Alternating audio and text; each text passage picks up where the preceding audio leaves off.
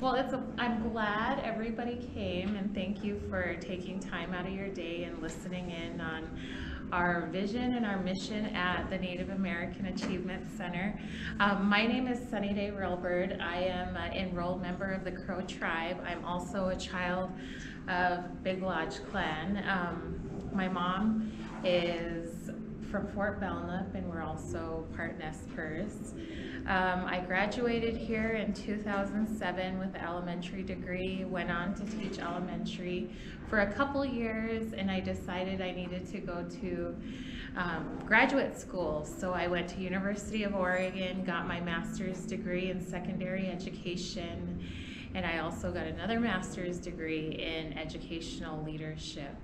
Um, I have two beautiful children. I have a 19 year old and an 11 year old. Um, I grew up here in Billings. On weekends, I would go stay on the um, Crow Reservation where I spent a lot of time with my grandma. Um, I call her my Kala. Um, she is going to be 85 in October, and she's been like a huge piece in um, advising and mentoring. And so I'm always, last night I called her and I was telling her about my plan this week. And um, I just always go to her anytime I have any, or if I need any ad advice or anything. Um, my crow name is Raises Good Children. I was named that when I was nine years old um, by my great grandma Lucy Real Bird. And in Crow Way, um, when the parents ask to give um, their child an Indian name, that person really has to pray about it, and it's a process.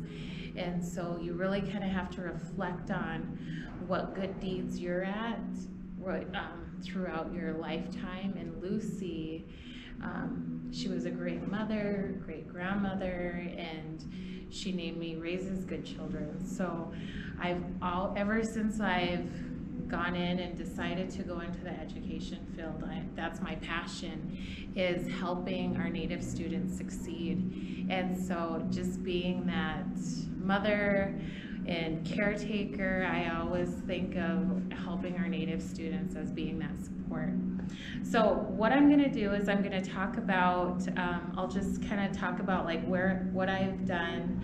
Um, I worked a lot with the Bureau of Indian Education. I helped um, contribute to curriculum. Um, I sat at tables where we were deciding on where millions of dollars were going towards and looking at a lot of our reading and um, proficiency scores. So I have a background in that. Um, I love um, data. I'm just a data nerd. uh, and then I also served as the Director of Indian Education for the Ronan School District, and I served in that position for over five years. So I, I know how to implement any Indian Ed for All in any lesson. I have, I think math has always been the toughest, but I, I always feel like that's the funnest, especially when you're incorporating culture into a lesson. So my position here at MSU Billings is I'm the Director of American Indian Outreach. I've been in this position for a little over a year. It's been kind of interesting. My second day of work, I was put on quarantine. So I didn't get to get that full experience. And so our biggest piece is we have our vision is dedicated to provide the best support by empowering our Native student population in the higher education realm. I'm just going to click it. Um, we have two locations. We have our main campus location, which is located at 2630 Normal Avenue. And then we have our city location, which is in room B008. Um, we have our project coordinator and our Native Success Advisor. We're also going to be hiring um, for a graduate assistant. And then we also, I just wrote a grant for a VISTA position and that person will be starting November 11th. And a lot of their position will be focused on retention and recruitment. Um, throughout this year, we've received a grant which was geared towards sharing information. We have a sweat lodge here at the main campus, and we partner a lot with Billings Urban Indian Health. We have a men's and women's sweat, and that takes place on Sunday. And so we usually post that on Facebook, but not all the time. It's kind of like if students are wanting, if they're interested, we share that information, or we'll get notified Friday if they're going to do a sweat, and then this, some students will show up. Um, this year, I really thought about my experience going into college and how we could, when we're bringing in these Native students, how could we see them succeed? So I really reflected a lot in how my experience was. And a couple years ago, when I was going to school at MSU in Bozeman, um, I had to stay there during summertime and I had to leave my family. And the hardest part was leaving my kids. And so I get into the dorm and I check in, and this was just a couple years ago. I had no idea what to bring to a dorm. I didn't know if I should bring towels, sheets, like nobody gave me a list of what to bring. And I bring just a little bit of stuff. I didn't bring a TV or it was just interesting. So I stayed there the first night. I got up that morning. I went to class and I got done with my class and it was dinner time and I came out to the commons area and I never felt so alone. I noticed there was all these various groups eating together and um, my pizza arrived. So I met them at the front door. I got my large pizza and I sat there at a table by myself while everybody was mingling together and they were eating and cooking together. And I never felt so alone. And so I really thought about that and I was like, I could see why a lot of Native students leave after like the first year or even the first couple months. So I decided it would be neat to create an indigenous living community. And so right now we have four dorms. Uh, we have Native students in there. I hand selected what Native students would go in there or what students of interest wanted to be in that section. And so I have a RA, I meet with them. Um, lately it's been like every day. but our plan is to meet once a week. Um, we have about 40 Native students, and so my biggest piece is bringing home here. And so we have beading events. Um, next week we're going to be having, we're going to be hosting um, the Hulu reservation dogs, and we're going to have um, pizza and watch reservation dogs. and so that will be fun. And then um, I allow them to cook in the kitchen and they make dinner. But I think the biggest piece is making it comfortable here so they're welcomed and they know that um, this is kind of like their second home. And so what I also do is I use a Mongoose platform and I send so out of those 40 students, I'll send a random text and I'll say, hey, meet me at Stingers at 9 a.m. I'll buy you coffee. I want to do a quick check-in. And so that's like a biggest piece.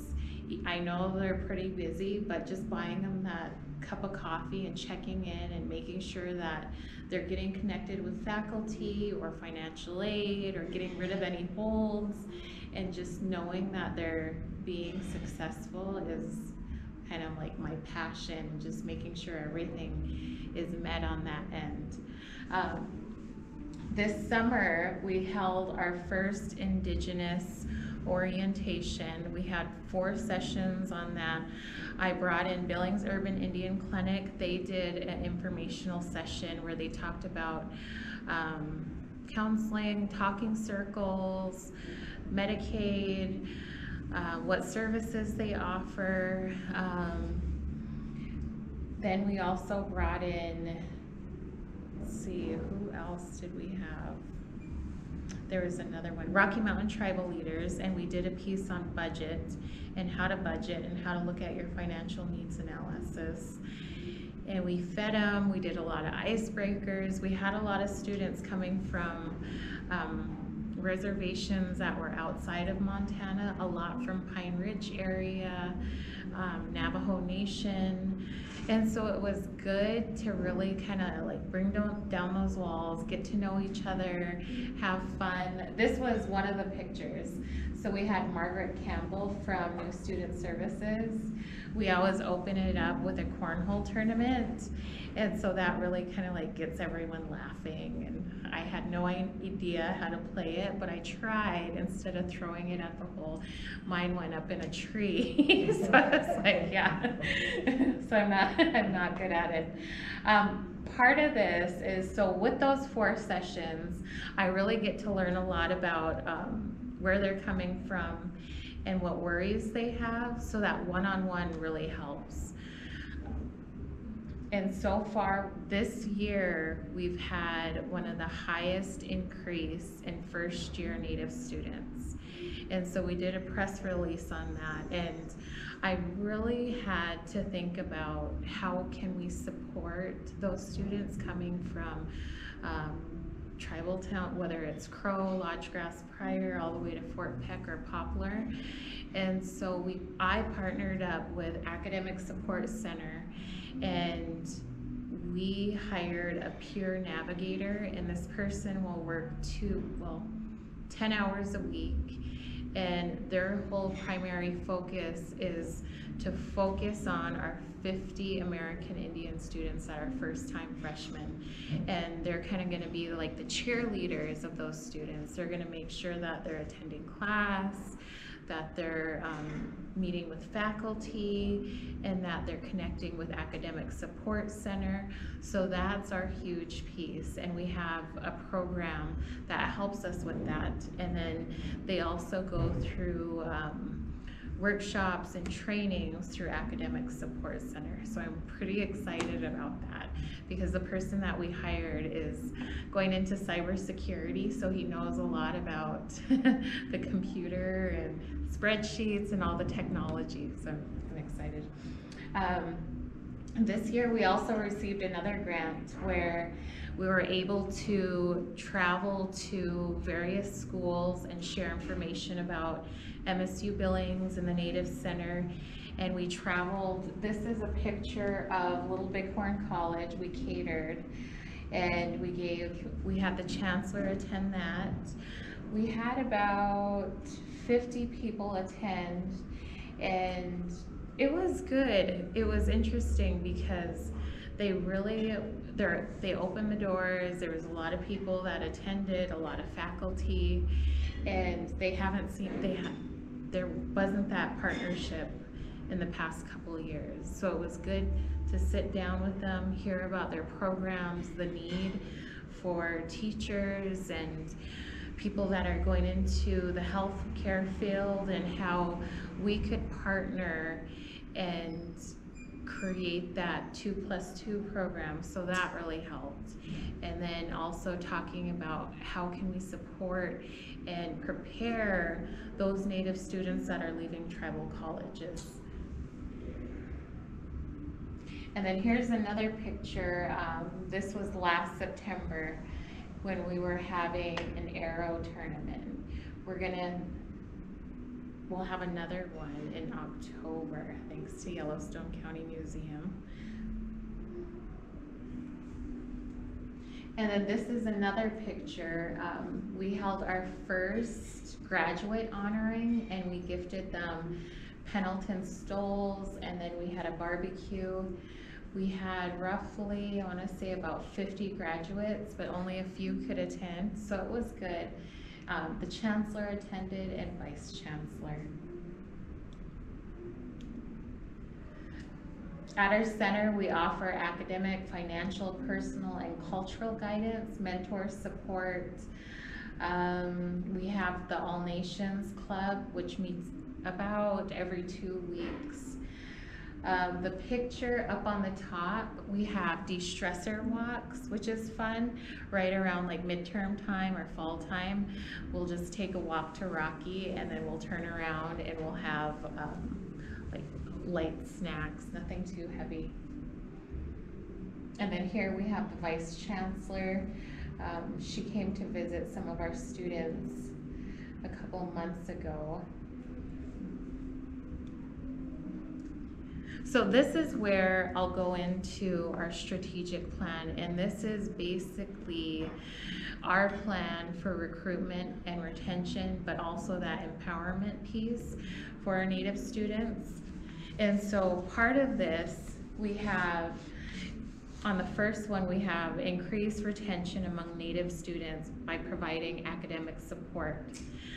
Um, starting next year, what we're gonna do is every year, that Saturday, we host a American Indian alumni breakfast. And so we're gonna track that information because we really need our Native alumni.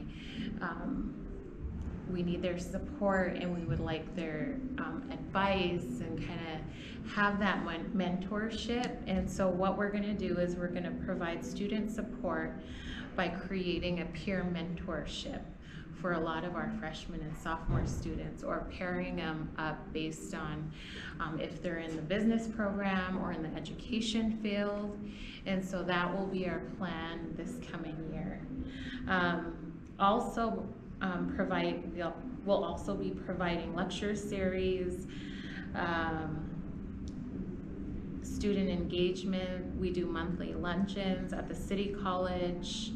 Um, we do movie nights, just anything. We last Wednesday we did a bring your own beadwork, and that was fun. We had a lot of students from like the Fort Peck area, and so after we had our Fridays event with the beading panelists last Friday, which we hosted three famous beaders, uh, we had a couple um, ladies they were elders from the community and they want to volunteer their time and show our students how to bead. And so I'm excited about that. And so they're going to come to our next Wednesday event. And it's so interesting because even when we have these events and we're inviting the community, I visited with one person that traveled from Wyoming to our panelist, and um, they mentioned that it was so neat to come on campus because they have never been on this campus before. And they were suffering from depression and just to sit down and loom and hear the panelists talk about um, their struggles and their grief and how they turned to beading was so helpful. And so now that student is gonna start applying for FAFSA and they're gonna um, go after their bachelor's degree in um, counseling. So I'm excited. Um, so he's he's been asking. He reached out to me, and so it it's just these little things that have an impact, and that's like a huge piece. And just that little story really helped. Um, so another thing is um, we also have in regards to recruitment is we're reaching out to a lot of the high school counselors. And so our piece for that is any senior that's interested in applying to MSU Billings, we visit with them. If they need help with applying for FAFSA, we do that. If it's admissions, we noticed this past year when we were granted um, money to cover our Native Success Advisor, we noticed a lot of people were requesting paper applications for admission. They weren't wanting to do the computer admission application. So it was pretty interesting, the whole process of that. And so anyways, we've, we work a lot, uh, a lot of people, when they're applying, they don't have access to Wi-Fi.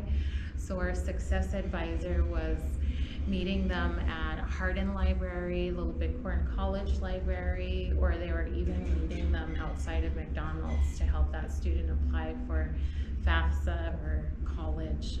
Um, we also are partnering with Billings School District on their family nights to educate them about what's here. That biggest partnership, they have about 2,000 students native students in the Billings School District. So that that's like our biggest piece is partnering with them and getting those students into college. and just with it, I help a lot of grandmas and moms get their senior kids reg- registered and help them apply for their tribal education scholarship. So it's good to give them information because some of them it's it's really overwhelming the financial aid piece. And stop me if you guys have any questions. um, another thing is we have so we have that financial aid night. We also partnered with New Student Services and they have a ComFlow.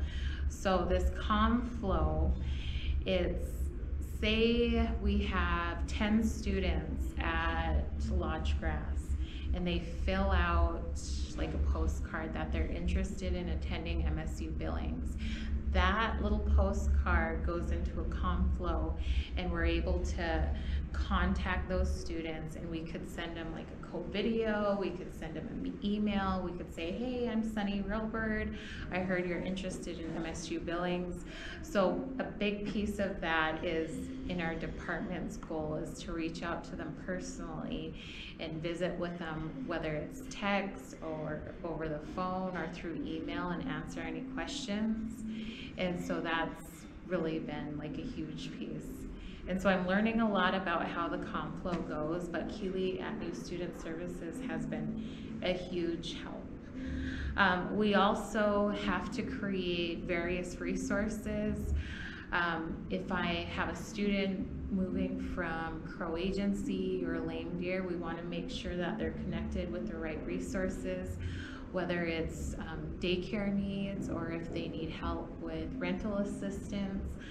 I have, I share all that information if they need money for a book stipend. And um, we'll also be, I'm also working on an emergency fund. If students run out of gas or they just need a gas voucher, they'll be able to access that. Um, part of what our Native Success Recruiter does, and we're hiring for that position right now, so if you know of anyone, please share that information. Um, what they do is they help with FAFSA, um, they share scholarship information. Our biggest piece is establishing a partnership with Little Bighorn College and Knife. And so part of what we got out of the meetings when we took the chancellor there a couple weeks ago was um, Dull Knife and Little Bighorn College wants to see more of a presence of MSU community on their campus. So our focus is to be available and attend various events. And so our Native Success Advisor will be there working with their advisors or their faculty to help them transition to a four-year college much um, smoothly.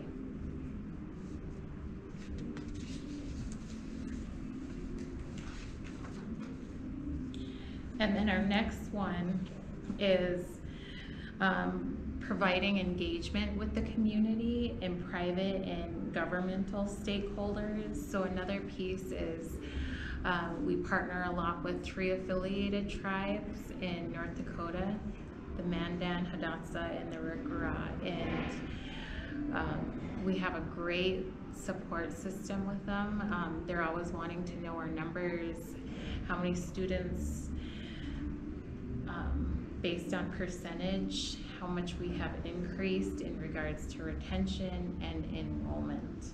So it's interesting that we're pretty close with them compared to like the surrounding tribes, but it's a it's very helpful because they've really helped us a lot in a lot of um, like our powwow events and our alumni breakfast. So another thing is um, we're also working and looking at student data, and I'm hoping my next screen has the data information. Yeah, it does. So this morning, I was meeting with our enrollment, and last year we had 294 American Indian students, and today we're we're at 302 Native students. So we've had a 2.7 increase and so um, City College, we just had a press release on that and we saw a 21% increase of Native students. Um, Native students accounted for ten percent of the city college enrollment. And so our biggest piece when we're writing this job description is to have that presence there, to make sure that our advisors are checking in with those students, whether it's if they have books or if they need help with financial aid, just anything, just making sure that their needs are being met.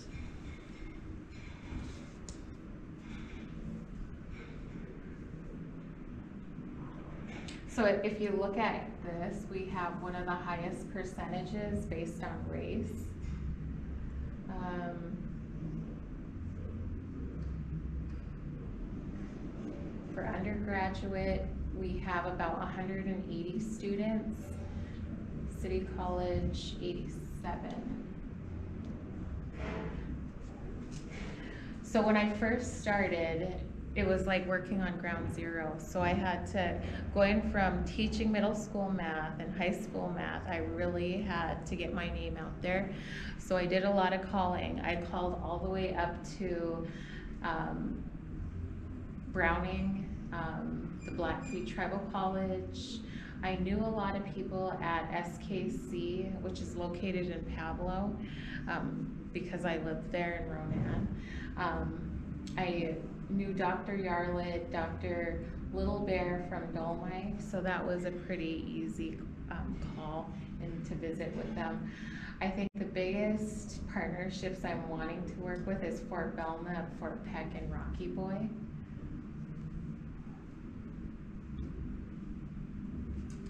Uh, we have our tribal colleges.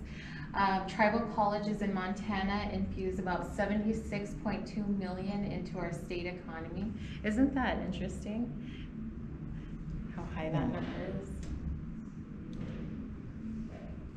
Okay, another piece I wanted to get into, I presented um, last year, and one of the questions that really made me think about and made me reflect was um, someone asked me, they said, okay, I'm a professor, I'm here at MSU Billings, I'm new to Montana, I don't know a lot about the um, reservations around here, I don't know about tribal etiquette. If I have a native student in my class, how could I work with them?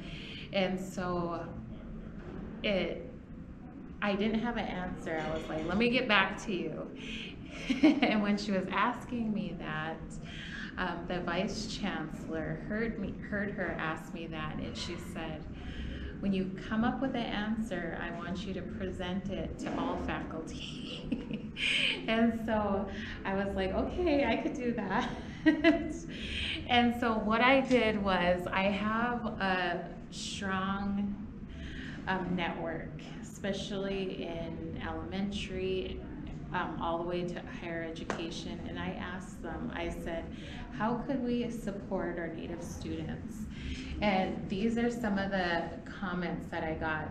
Having a willingness to understand and listen to our cultural beliefs, values, and norms. Attend a cultural gathering of any kind and report your visit to your class or with other educators. Learn about local history local tribes, and current issues that are affecting Native people. Using the correct terminology and make sure you aren't being stereotypical. Examine your methodologies when teaching Native content. Pros and cons, approaches are harmful. Create space for localized Indigenous knowledge holders in your classroom. Make room for a discussion of diversity and cultural competency in all subjects and topics. Present research aimed towards evidence-based practices in indigenous communities instead of generalizing all population populations and building meaningful relationships.